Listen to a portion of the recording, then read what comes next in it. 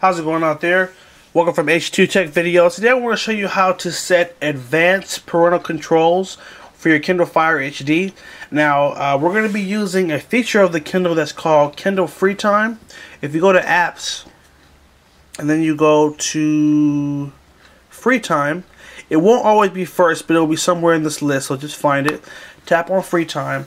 This is um, such an awesome new feature that they've added to the Kindle Fire HD and it actually allows you to set very strict uh, controls on what your kids are allowed to see.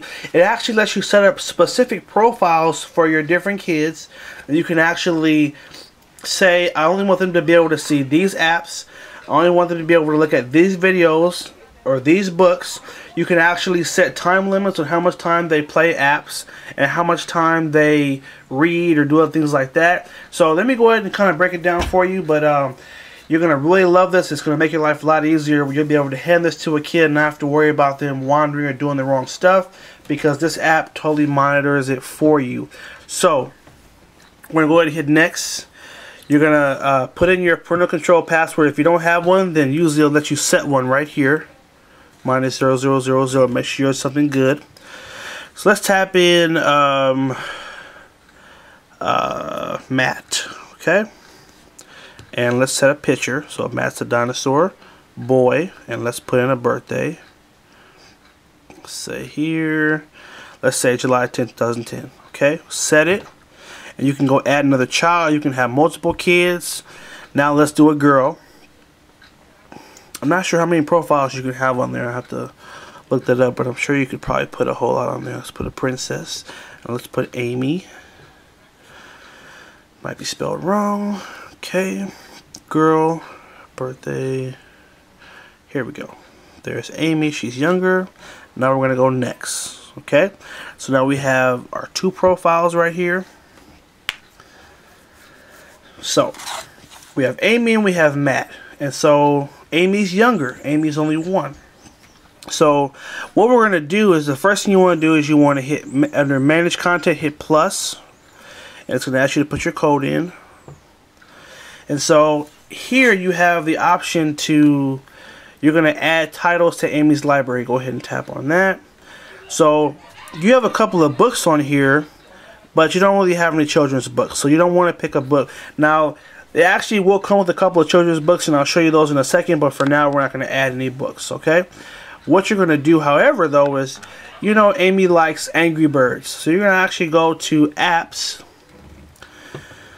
and you can actually go through and say, I only want her to be able to play this game or that game. So, for example, for her, maybe you'll say, I only want her to be able to play Bubbleshoot. So we'll check that box. And then under videos, well, I don't really want, want her watching that show.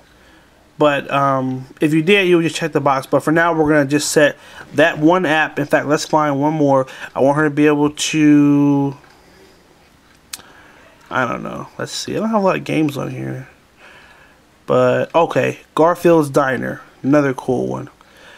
Um, Word Snacker. Okay. Three apps that she can play. Hit save. Amy's done.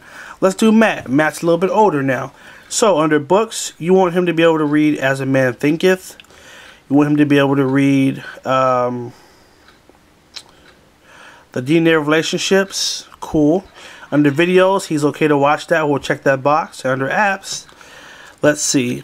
We can go Hangman, Bowling, Halloween Mahjong. You know, as you can see, whatever's not checked, they won't even have access to. That's the awesome part. Do some brain teasers and fruit fling. Okay? Now we're going to hit save. And now his profile, you've added some more content to it. Now we'll go back. Okay? And so, now let's tap on Amy's profile and let's see what that looks like. Okay. So under books, it does come with a couple of books on here already. So these are free, and these are obviously books I haven't downloaded, but they're already on here. So if you want them to read this, all you have to do is just tap on that one book. So let's tap on Sylvester and Tweety, and it's going to start downloading it. Okay? We go to videos, guess what? We haven't added any videos for her, so there's none in here for her to watch.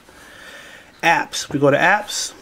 There are these uh, six games. Now we added these three, Bubble Shoot, Garfield's Diner, and Word Snacker, and these three actually come on it already. So that's pretty cool. These three are actually here already.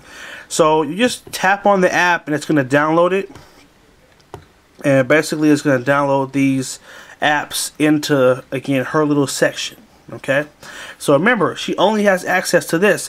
If she tries to go home, this is the only place it's going to take her. It won't take her any further. If she goes to favorites, it's only going to be her favorites. And that's it. So if she tries to pull the menu down and say, well, I, I want to get out of this. Parent settings, guess what? Has to have the password. So it's totally secure. You don't have to worry about them wandering or getting to somewhere they're not supposed to be. So, now let's go out and let's see what Matt's profile looks like. We're going to pull that menu down. We're going to exit, or actually we're going to go parent settings, put in our code. And now it's going to come back to our other section where our profiles are. Now we're going to go to Matt. Now remember, Matt's a little bit older, so we actually gave him a couple more things. We gave him a couple of books. So he has the two books that we assigned to him, and then we can download Space Adventures for him. And we also can download these other two if we want. We go to videos. Guess what? We said he could watch Family Matters, so there's that TV show. And if he taps on it, he can actually see that specific episode. Go back again. Go to apps. Remember, we gave him more apps. We gave him the more older apps. So Halloween, Mahjong, uh, uh, Hangman Free, Bowling, and then these are the free ones that come with it. So again, it's very restrictive, and you control what they can see because you have to pick it for them. If you haven't picked it, they can't look at it. So we're done with Matt. Let's say we want to get out of this. We want to go to parent settings, and again, we have to put that code in. It'll literally launch that that prompt for the code every time you're trying to get out of a section that you, you've put them in. So, all right.